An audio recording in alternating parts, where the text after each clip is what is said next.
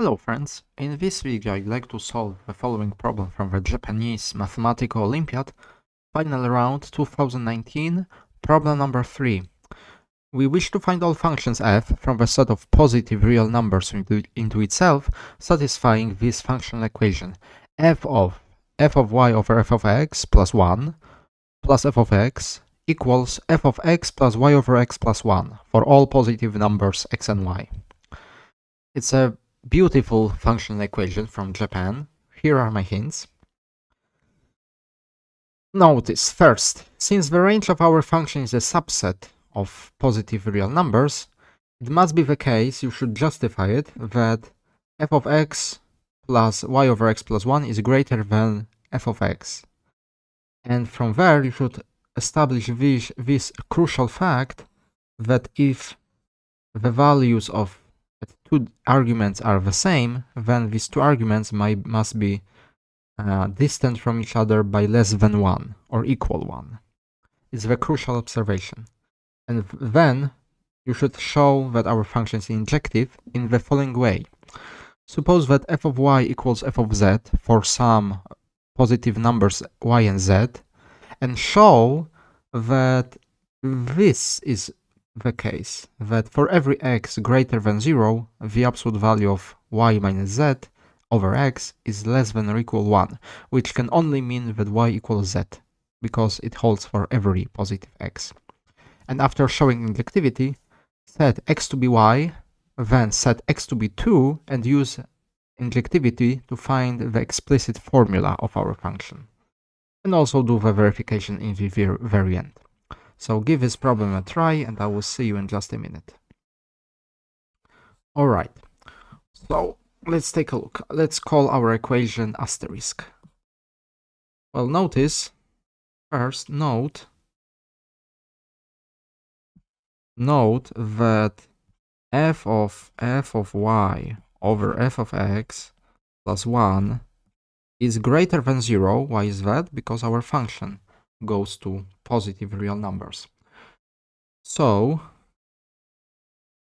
so f of x is definitely less than f of x plus y over x plus 1 for every real numbers, positive real numbers x and y. Alright, but notice that this number y can be as small as we wish, which means that for every real number x, for every x greater than 0, and maybe let's write an epsilon greater than 0, f of x is less than f of x plus 1 plus epsilon. Which means, and this is very useful, that for every two real numbers, positive real numbers, if the values of fx, f, f of x equals f of y, then the distance between these two numbers must be less than or equal 1. It's very, this condition is truly crucial. And I will call this condition, uh, I know what, I will call it a triangle, green triangle. And let's talk through this condition. Why is the case? Well, because, think about it, if this is not the case. So for example, if x minus y is greater than 1, so x is greater than 1 y plus 1, then this holds, yes, this holds. Uh, and we don't have equality. The same is true if we have uh, if we have y minus x less than greater than 1 we also get contradiction with this condition. So if the values are the same, the arguments must be distant uh, one or less from each other. Very well. And now, suppose now, we will establish injectivity now. Suppose, suppose now that f of y equals f of z for some positive real numbers y and z. Then we will use our very first functional equation. Because remember that f of f of y over f of x plus 1 plus f of x equals f of y Oh, sorry. Or f of x plus plus 1 y over x plus 1 but since f of y equals f of z this can be replaced by this and in turn this can be replaced by f of x plus z over x plus 1. So we are using our very first functional equation twice in these places and in the middle we are using the fact that f of y equals f of z. Alright, so that means, notice that that means that f of this argument f of this argument equals f of that argument. Since, since x plus z over x plus 1 equals x plus y over x plus 1, by our condition triangle, we have the following. These two arguments must differ by at most 1. At most 1. So x plus z over x plus 1 minus x plus y over x plus 1, they differ by at most 1.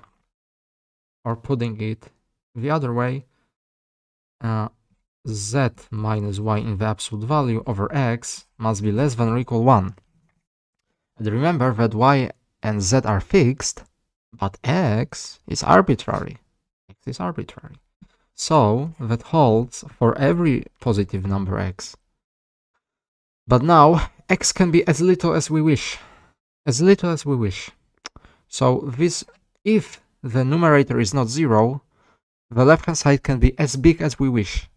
So that can only be true when y equals z. And that means we have established injectivity. We have established that f is injective. Crucial property. And now, let's maybe let's recall our functional equation. I will write it here for the not to go back too much. So our functional equation asterisk says that this equals f of x plus y over x plus 1. And now I will set something. Start with setting x to be y in our condition asterisk. Then, then we have the following. On the left hand side, we have f of 2 plus f of x equals f of x plus 2. And now let's set something different. Let's set now x to be 2. Again, in our condition asterisk. In our condition asterisk. And then we will have the following.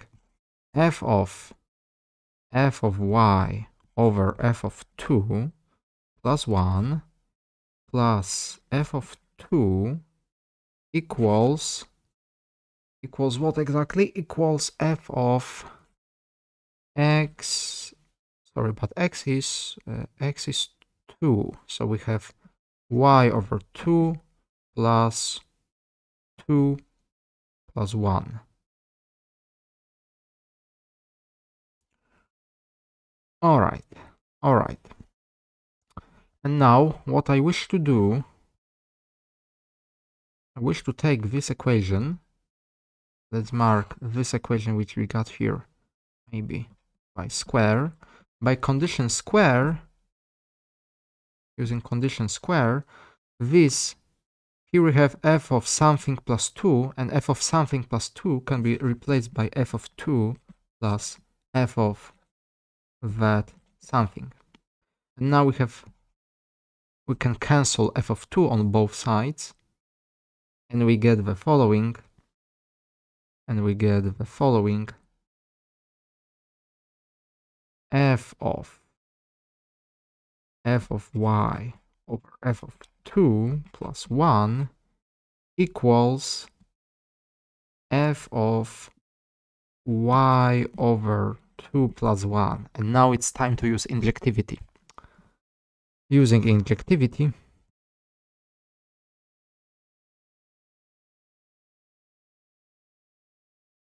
of f, we can cancel f on both sides and we'll get f of y over f of 2 plus 1 equals y over 2 plus 1.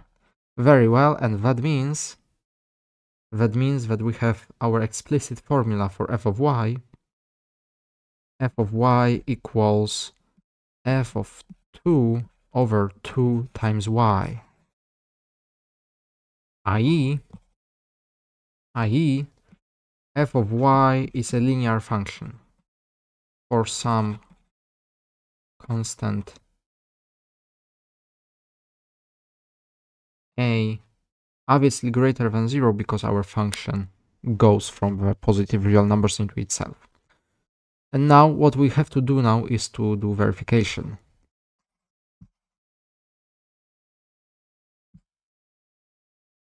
Let's do verification. Left hand side. On the left hand side we have f of f of y over f of x plus 1.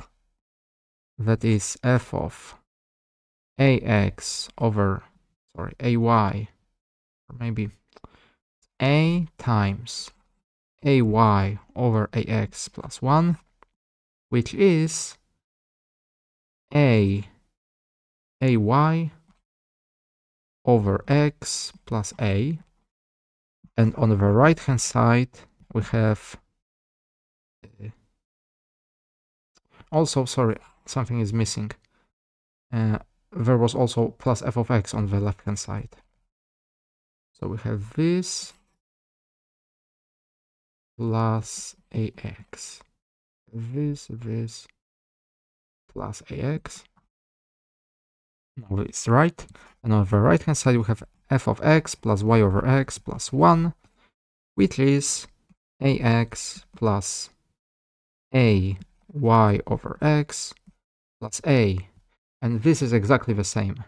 So in fact, every function, every linear function for any positive constant a satisfies our functional equation. So let's write the solutions the solutions of our equation are linear functions f of x equals a times x where a is any positive constant whatsoever. And that closes our problem. Truly a beautiful functional equation. It was a bit unusual because the way of showing injectivity was not, not so obvious. But it is what it is. Thank you very much for watching. I hope that you've learned something new this time. And I will see you next time. Goodbye.